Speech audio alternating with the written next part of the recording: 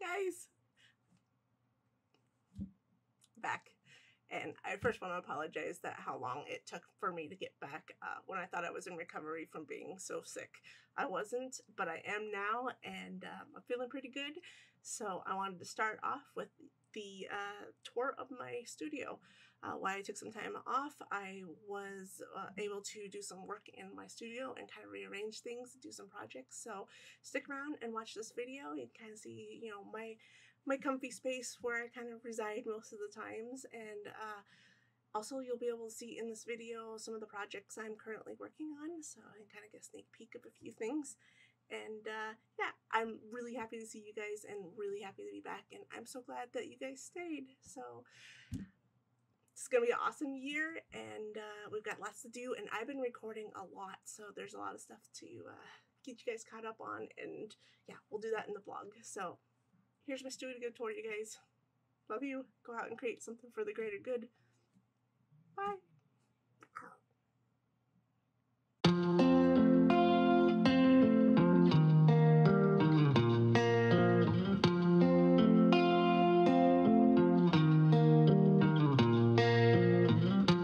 Moving out of focus, taking all my energy.